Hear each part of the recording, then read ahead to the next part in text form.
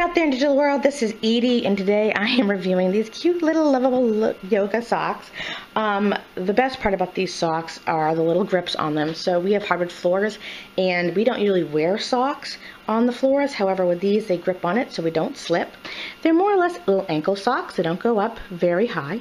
I did try this pair on. I haven't tried the rest on, but they're all exactly the same.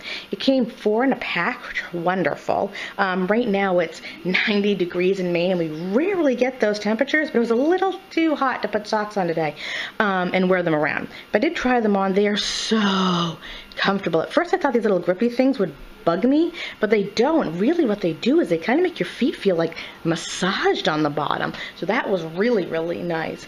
Um, like I said, they do come four in a package. They're very comfortable. They only go about to your ankle, and you won't slide around. There's Edie. Catch you on the flip side.